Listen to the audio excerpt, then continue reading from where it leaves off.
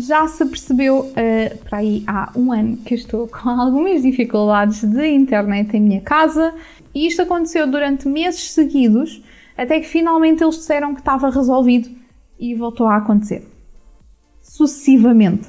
Mas o provedor foi aquilo que me salvou. Eu penso que foi no dia a seguir ou dois dias a seguir ligaram-me a pedir imensa desculpa e a perguntar quando é que eu queria rescindir.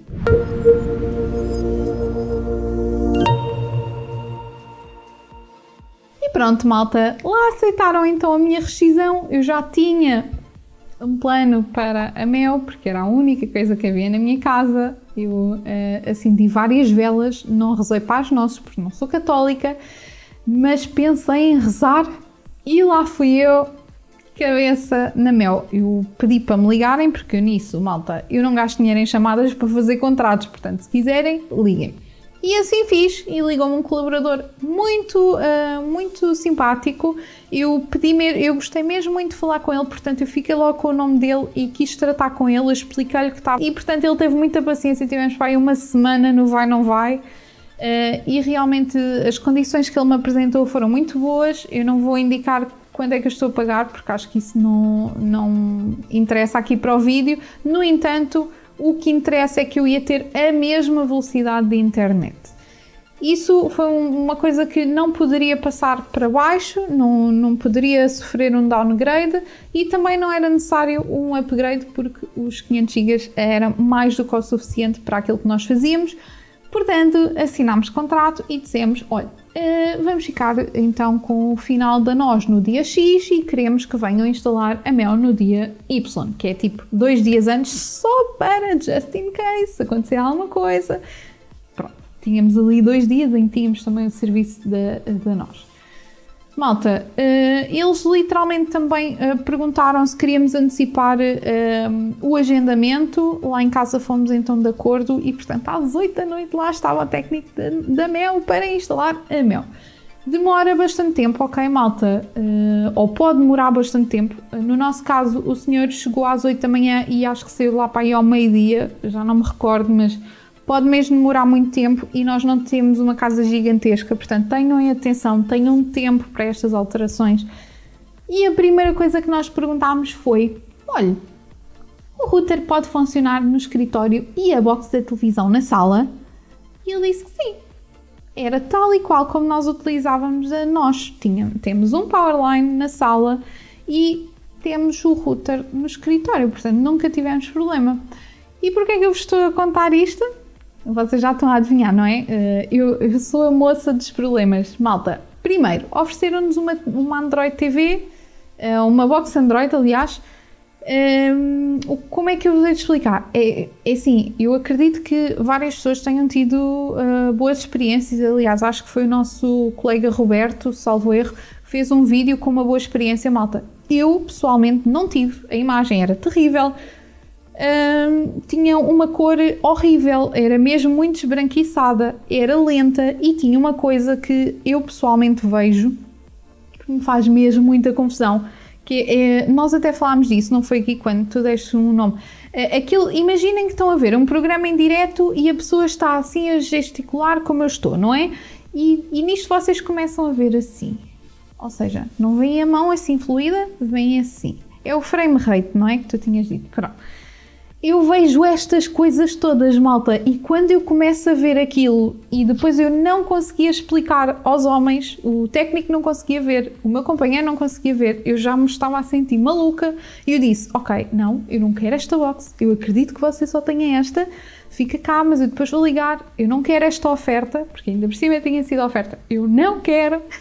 E o senhor por acaso tinha uma box antiga no, na carrinha e foi pegar e testámos Malta, e a televisão automaticamente ganhou cor. Ainda por cima nós temos uma televisão espetacular. Portanto, assim que ele mudou para aquela box, a cor alterou completamente. Estava tudo super fluido, muito mais rápido. E eu disse: olha, uh, ok, é esta, é esta. E o senhor por acaso pôde lá uh, deixar. E uh, naquele dia, sinceramente, tivemos alguns problemas ainda. Uh, nomeadamente o router não se estava a aguentar porque o, a tomada ou o transformador, eu olho para o, para o One como se ele soubesse perfeitamente o que eu estou a pensar, ele não sabe nada. o adaptador do router, o transformador estava uh, avariado, uh, foi trocado. Isto tudo estão a ver nesta manhã. Então estava a ser já muito estressante. A box tinha algumas paragens, mas sinceramente eu pensei que fosse ali aquilo a estabilizar e bola para a frente.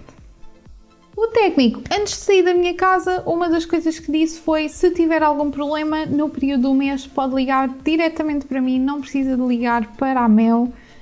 Portanto, foi isso que eu fiz. Passado uma semana, eu liguei: olha, estou a ter problemas na televisão, está a ter muitas falhas.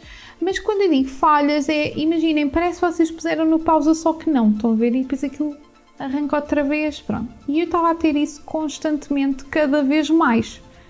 Eu achava aquilo um bocado estranho. E o senhor foi lá à casa e disse: O problema é do seu Powerline.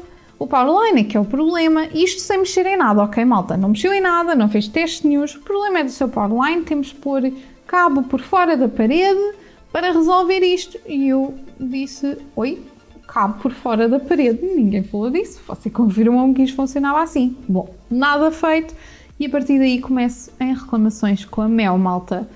E acreditem, a Mel para reclamar é ainda pior. Eu uh, fui ainda mais maltratada na Mel, mesmo muito maltratada, a ponto de fazer queixa contra um colaborador. Eu tenho ideia que nunca fiz isso numa operadora, uh, porque eu acredito que as pessoas possam ter maus dias, mas eu fui tão maltratada por vários que aquele ainda por cima ligou para mim para ser mal criado, esqueçam. Isso então é, é o fim da brincadeira e eu fico sempre com os nomes de quem liga ou com quem falo e esse teve de ter uma reclamação direta, obviamente.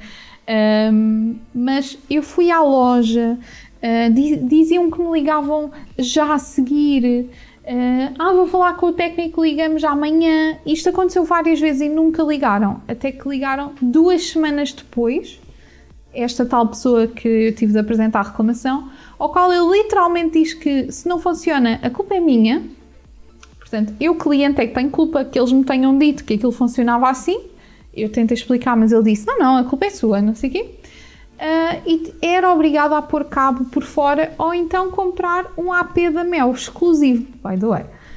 Malta, o AP da Mel não iria resolver absolutamente nada e eu hoje sei disto. Uh, o AP da Mel não ia resolver nada, foi-me confirmado por outro técnico da Mel. Um, portanto, partimos para o pressuposto de, ok, vamos enviar outro técnico aí a casa. Enviaram outro técnico e assim que ele entrou eu disse, por favor, não me diga já que tem de pôr um cabo por fora, porque isso não vai acontecer. Se isto ia funcionar assim, tem de funcionar assim.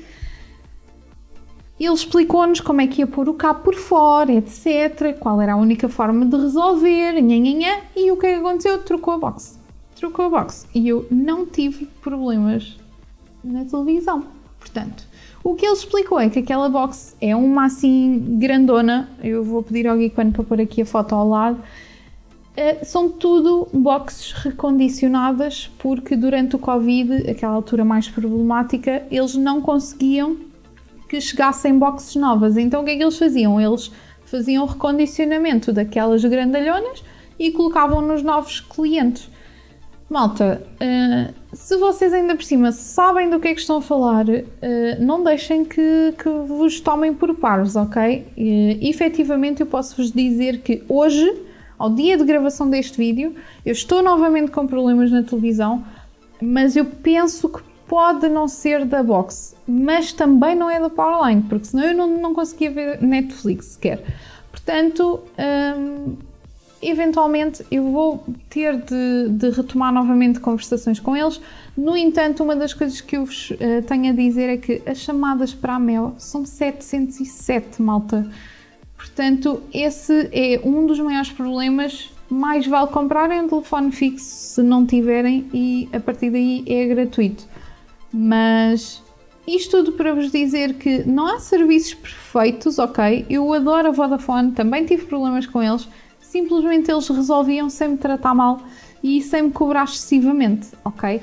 Na Mel, eu não posso dizer que estou insatisfeita com o serviço, não estou, mesmo com as falhas que estou a ter na televisão neste momento, mas acima de tudo, aquilo que eu não posso mesmo que falhe é a internet e a internet está a funcionar bem. Para finalizar, quero-vos sempre também alertar a que vocês podem e devem fazer renegociação dos vossos contratos para não estarem a pagar valores excessivos e principalmente se vocês não podem pagar alguma coisa, falem logo com eles, não deixem para depois, não, não deixem falhar alguma fatura para conseguirem renegociar com eles. Isso é tudo muito importante, ok, malta? Porque se nós queremos que eles cumpram, eles também querem que nós façamos a nossa parte, não é? Paguemos ao dia certo. Portanto, e, e, normalmente eles estão lá até para nos ajudar nesta parte. Eles não querem, sem dúvida nenhuma, que eles não querem ficar sem aquele cliente e normalmente ajudam uh, a que as faturas sejam pagas sem prejuízo do cliente. Portanto, contem também sempre e não vão propriamente de pé atrás, mas quando vão fazer um contrato novo ou quando estão com problemas, vejam, vejam este tipo de vídeos que eu acho que é mesmo muito importante. Houve quem dissesse para nós não falarmos em marcas Malta, eu estou a contar a minha experiência, eu não estou a contar a experiência que aconteceu com o amigo do amigo, eu estou a contar a minha experiência e, portanto, este vídeo pode um dia, se calhar, sair do ar, mas a experiência não sai e foi bastante grave. Uh, portanto, tenham atenção. Última dica: vejam sempre as faturas, mesmo quando têm débito direto, porque a minha primeira fatura da Mel também veio errada, malta.